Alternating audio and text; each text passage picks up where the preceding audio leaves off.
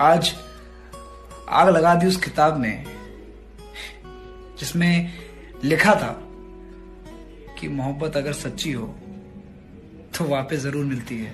तेरे इश्क ने साथिया